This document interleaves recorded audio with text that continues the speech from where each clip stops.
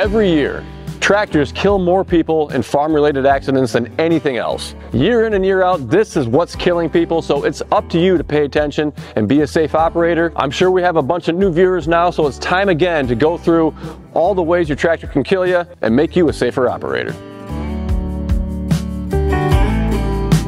I asked you guys in a recent poll and a whole bunch of you responded, yes or no, have you put yourself in a dangerous situation when you've been under ballasted? You didn't have a bunch of weight on the backside or maybe the front of the tractor and you found yourself in a tippy situation? Over 80% of you folks have put yourself in a potentially life-threatening situation, surprising for a couple of reasons. Reason number one, well, it takes a big man or lady, well, small, that came out wrong.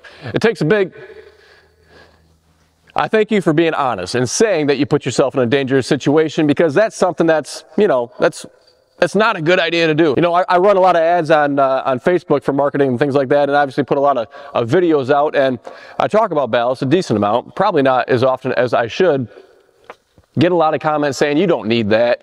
You have enough weight on there. Give me a break. My tractor's got plenty of ballast. I run 200 pounds on the back. That's all it needs. Blah, blah, blah, blah, blah. Those are dangerous comments to listen to.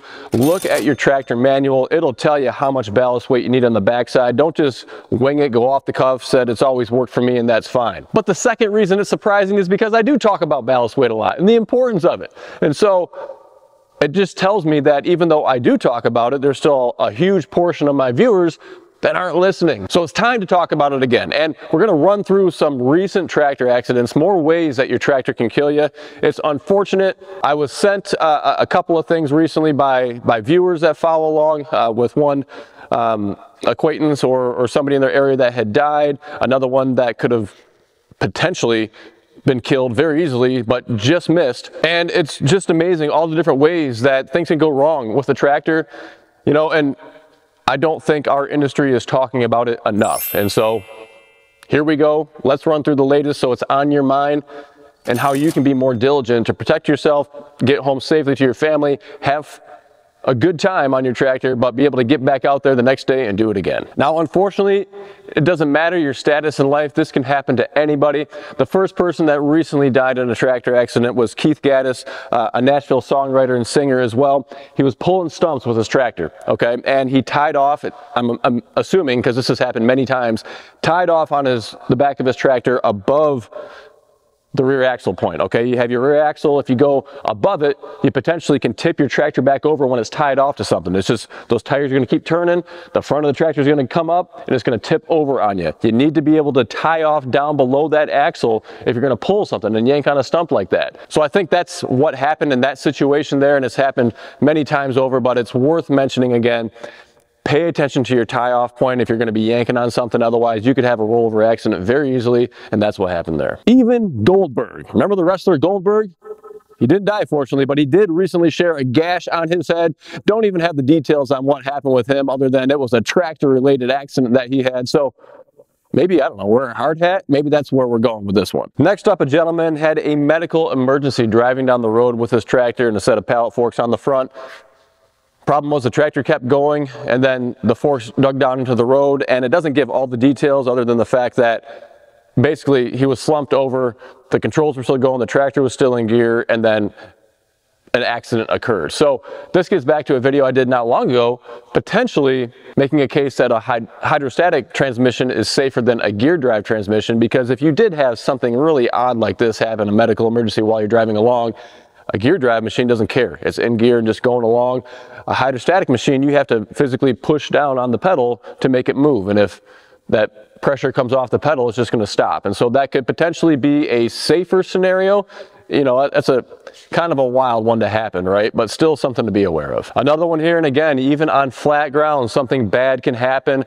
This gentleman found a rut, just found a dip in the in the ground, and it ended up being enough to overturn his tractor ended up killing him. He, he died because of that. And so this gets back to always being aware as an operator. If you can have more weight on your tractor to keep that center of gravity low and planted to the ground, it's going to improve your chances or maybe limit those chances of a rollover. Um, not to say it still can't happen and it lets you get off the hook on you know, daydreaming while you're on your tractor. But tractors are more dangerous than you would think. They're the number one cause of farm related deaths in the United States every year. Nothing else comes close. And it's worth mentioning all these accidents have happened in the last two or three weeks, something like that. This is not like over the last year or two. This is all just recent stuff when I was searching a couple things and they all just popped up. It's really crazy. Another one, we don't talk about this enough. This gentleman was transporting hay bales from one property to the other and then lost control of the tractor as it was going downhill, all right? And we've mentioned if you have a four-wheel drive tractor, and probably one of the benefits of getting a four-wheel drive tractor is being able to engage four-wheel drive. And then when you're braking and you need to slow down, that front axle is also helping along with the rear. If you're going downhill, you have a bunch of weight on the front of your tractor, it's even more likely for the back of the tractor to want to lift off the ground.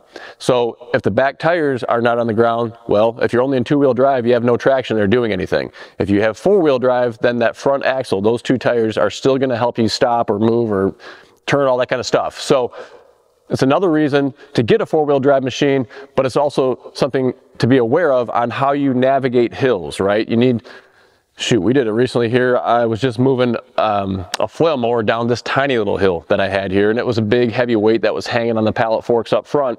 I decided to back down that hill instead of driving forwards down that hill. I probably would have been fine. I did it out of an abundance of caution just because I know that things like this can happen. So slow down, think about what you're doing, and how your tractor can kill you.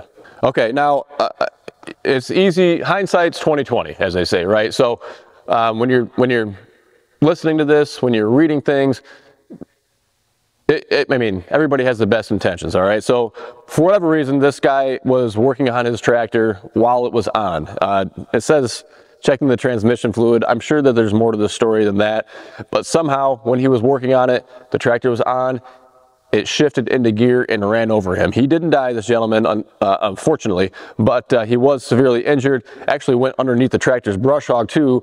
Fortunately, the brush hog wasn't operating. The PTO hadn't kicked on, but you know, I, I don't know what else to tell you. I think you guys can figure out all the other safety things that he could have done in this scenario. Um, but nonetheless, things can go wrong when you least expect it. Last one along those same lines, this elderly couple was working on their tractor you know, you, you got to block your tractor, right? Don't let it be able to move anywhere. Physically, physically block it so it can't move. Somehow they were working on it. It started to move. Uh, the, the, wife got trapped and, and ran over, and then so did the husband. The wife ended up dying, and the husband was injured. So, I mean, this this kind of stuff, it's you know, your tractor doesn't have to be on, right? You could just be working on it. Maybe the loader's up high and hydraulics give and, and come down and whack you. There's just so many ways. And check out the other videos we've done too. And again, it's not to make you afraid of owning and operating a tractor, but I think that the reason that all these accidents happen is because there is a lack of safety and awareness and understanding out there. And you have a tendency, tractors are slow, right? And I think um, a lot of us are always in a rush. And so you have a tendency to try to get things done as quick as you can. And so you kind of forget or you think the chances are pretty good is nothing's going to happen. And so you rush through things and that's when the accidents do happen. You know, and, and last one actually is, I mean, just a fluke, right? It's, um, well, I think there's a, it shows why they say, or have the stickers on a brush hog or a flail mower, stay back 150 feet or stay back 200 feet or whatever it is. Uh, this viewer actually, early riser, hope you don't mind me mentioning your handle, um, sent over his recent experience where he had a two inch dent put in a, a brush guard on his, uh, on his UTV, he was brush hogging an old field and there was a just a, a, hunk of steel like the end of a rod or something that went flying out from underneath his brush hog at high speeds and just whacked this thing. And, you know, fortunately nobody was hurt, but that could very easily happen. And I don't know, I don't know if he had guards on his brush hog or not. Um, you know, you can have rubber guards, you can have steel guards, you can have chain guards, all that kind of stuff. And those are meant to slow down flying objects, but even if you do have them, it doesn't mean it's going to stop everything. And so be aware as an operator what you're cutting around. If there's, you know, somebody around nearby, I mean, they could be in the danger zone. Um, and then just be aware, even if you are, you know, those road crews, right? I always think about that every time I'm driving down a highway and there's a road crew mowing. I, I always am in I don't know why, hopefully it never happens, but something coming flying out right at my vehicle or somebody else's vehicle on the highway, it just seems like that's a disaster waiting to happen. Okay, so what can you do? Well, number one, ballast weight. That's what you can do. Add a lot of ballast weight to your tractor. You typically need more than one form of ballast weight to be safely planted to the ground. Again, reference your operator manual. Sometimes it's not in the tractor manual, sometimes it's in the loader manual. So look in there as well. Um, you know, if you need front ballast weight, normally you would find that in the tractor manual because you're gonna hang it on the tractor itself when you're using like a brush hog or something on the back and you need to offset that. Um, but when you need rear ballast weight, typically that's only going to be if you have a front end loader. So you're using your bucket, you're using a grapple, um, you're using what else? A bale spear, you're using pallet forks, all that kind of stuff when you're lifting lots of heavy stuff up front, and then you need lots of heavy stuff on back to counteract that. And so that's one of the main reasons why we are sponsored by Rim Guard. These guys right here, all right? I take it very seriously. When I wanted to be sponsored, I try to find sponsors that are widely applicable to my audience that are that are watching my channel on a regular basis and you can't even see Rim Guard. It's hiding inside these tires. It's liquid ballast that's in there. Adding hundreds of pounds to the back of this tractor. It comes standard inside the Summit tractor, one of the many features that comes standard on the Summit, why we've partnered with them as well. But it's a huge component. And with all that liquid ballast weight that's in there, if you forget or you're too lazy, I'm talking about myself, at times to properly ballast when I'm gonna go use the front end loader, you at least have those hundreds of pounds there, right? And the Summit is actually one of the heaviest tractors in its class, and so that extra weight also makes a big difference. But the majority of modern tractors these days, the subcompacts and the compacts, are too light. They've been taking steel out of them. They're not like the old farm tractors that a lot of us grew up riding around, and you're gonna tip right over. I mean, get back to that poll over 80% of you guys said you've been under ballasted and been lightweight on your tractor. So that's a huge deal and tells you you need to add more weight. Otherwise, someday I could be reading about one of you as these statistics. And so the liquid ballast is one of the cheapest ways to get ballast weight on a cost per pound basis. It's, it's hidden, it's out of the way. The other forms of ballast weight that you're gonna wanna add on to could be wheel weights, okay? Not every tractor can take wheel weights, but if you can add those, they're also out of the way, right? You don't have to worry about tying up your three-point hitch, but then you can get three-point weight, all right? And if you have a heavy attachment, that's always an option to have and better than nothing, but there's a lot of downsides to using like a tiller or a brush hog as well, we've talked about those, and it's a trade-off you can see right here how compact this is and so your overall length is a lot shorter and if you're in an open field no big deal but if you have to navigate around buildings fences between trees and, and anything else, or even on uneven ground um, where you're going to dig down into things when you're going up and down hills. All that other kind of ballast weight can be super annoying on the back, and having something like this can really be beneficial. Not to mention the fact that you can take these off individually, 70 pounds or 41 pounds at a time, and so if you wanted to get some front ballast weight in your bucket, for example, when you're using something on the back end, you can just throw these in your bucket or you can hang them in different locations. guys will use these as extra uh, ballast weight on box blades to get some more kind of weight or down pressure almost on there to really dig through things. Um, I don't have them mounted on here right now, but we sell hitch hangers too. And so if you have a quick hitch, like the Speeco quick hitch or the John Deere iMatch, there are these weight brackets that sit on either corner. You can add additional ballast weight there and then still have your three point available to hook up an attachment too. And so to point out the obvious for those of you that don't know, I'm a tractor attachment dealer, all right? It's my job to sell tractor stuff to you guys. That's somebody's got to do it. I'm the guy that's doing it, all right? So I want to explain the importance of it, not just sell it to you, but let you make your own decision on what you want to do. Um, I, I think at some point it's my responsibility to make sure that you understand the options that are available and you got to walk that line, right, of informing you, showing you where to go to get the information that you need. Ultimately, it's your decision on what you want to do. But I will say that ballast weight that we sell is one of the most popular things, um, one of the most popular products that we sell. And that's for good reason too. But that also means that in my mind, a lot of dealers out there are selling tractors to people and not pushing the importance of the safety. And so we're just filling in that gap. And while I've been harping on safety in this video as far as ballast weight goes, there's another really big benefit, which is functionality of your tractor or even efficiency because when you have all this extra weight on your tractor, it's keeping those rear tires planted to the ground and that's where you're getting all of your power. So whether you need to pull something through the ground or you need to lift something up and move it around, if those rear tires are kind of skipping and barely making contact, you're going to be very inefficient and ineffective and constantly have to slow down and rebalance your load. And so if you can maintain traction and power on the ground, you're going to get your jobs done a lot quicker too. A couple other safety points really quick.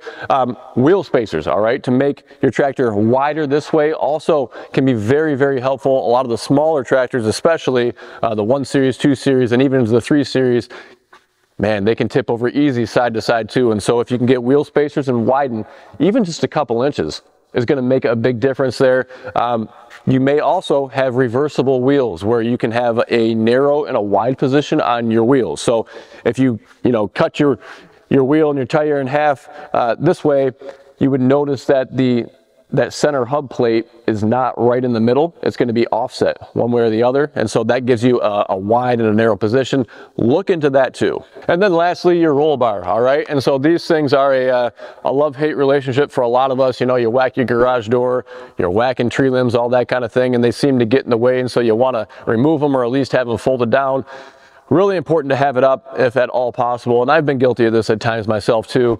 Um, it's there's a whole checklist of things you probably need to do every time you hop on your tractor, right? But um, if the roll bar is up, again, reference your manual, normally they will say that you want to have your seatbelt on because if the tractor tips over to the side, then that seatbelt's going to hold you in place and within the kind of the safety dimensions that the ROPS bar covers. If your roll bar is down, they typically say to have your seatbelt off, all right? And the reason is, is there's gonna be nothing to protect you if that tractor rolls over. And so if you're strapped into the seat, you're gonna get crushed. So if you don't have your seatbelt on with a roll bar down, then at least you have a chance to hop off the tractor and get out of the way before it rolls over on you. And of course, probably the most important reason for ROPS is so you can put your rhino hide canopy on there, get out of the sun, okay? Toughest canopy on the market, lightweight, durable, easy to take on and off, made in the USA. Get yours from tractorcanopy.com. That's gonna wrap it up for us today, folks. Again, this is a refresher, right? It's always good to have refreshers and we do them from time to time.